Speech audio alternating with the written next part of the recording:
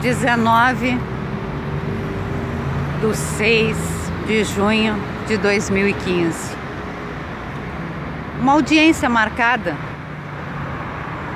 com meu pai e com a minha mãe, de preferência com a minha mãe.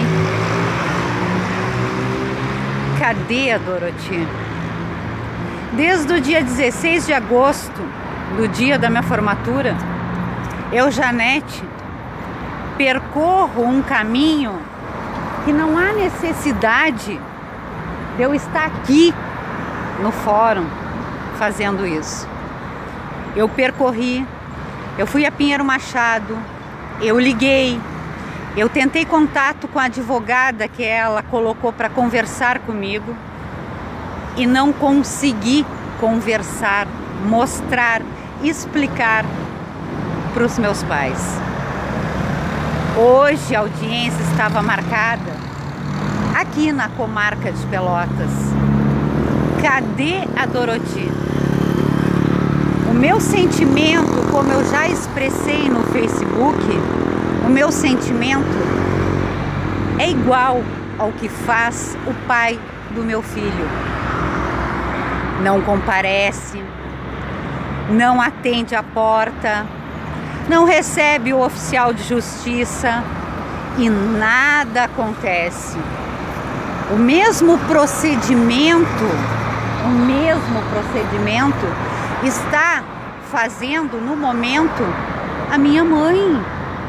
Gente, a minha mãe está cometendo, está procedendo da mesma forma que o pai do meu filho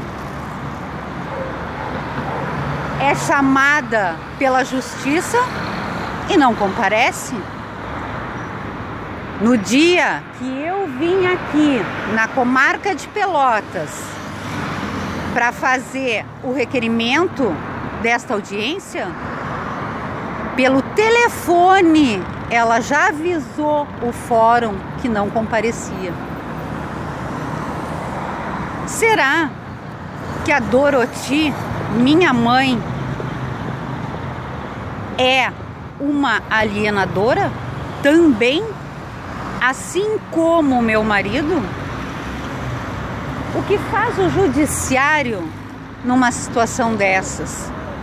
Será que o nosso judiciário ele está preparado para esse tipo de pessoa? Será que o nosso judiciário ele está preparado para entender o comportamento dessas pessoas? Não atende a porta, não atende o telefone, não comparecem a uma audiência. Será? É isso aí. Vamos seguir, né? E a luta continua. Janete de Ávilas Anúncio, Pelotas, Rio Grande do Sul, aqui da comarca da cidade de Pelotas. Vem Doroti, vem Doroti. Quem não deve, não teme. Aqui, Doroti, vem, tô, tô, tô te esperando. E a justiça vai continuar, Doroti. Vamos lá.